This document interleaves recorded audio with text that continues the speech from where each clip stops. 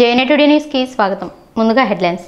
నెల్లూరు నగరం Brahma academy educational institute వారిచే press club నందు విలేకరుల సమావేశం. నెల్లూరు నగరంలో ఏటీఎంలు ఇతర చోరీలు చేసే దొంగల ముఠా అరెస్ట్. పదిహేను లక్షలు విలువ చేసే చోరీ సొత్తు స్వాధీనం చేసుకున్న పోలీసులు.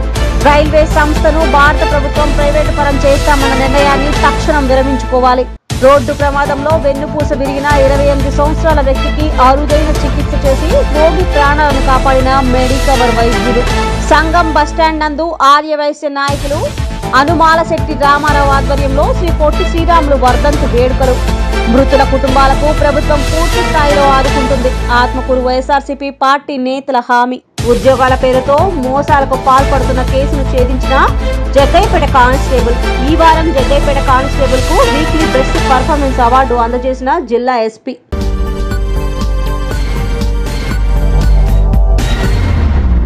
మరింత తాజా సమాచారం కోసం చూస్తూనే ఉండండి జేఎన్ఐ టుడే. సబ్స్క్రైబ్ చేయండి లైక్ చేయండి.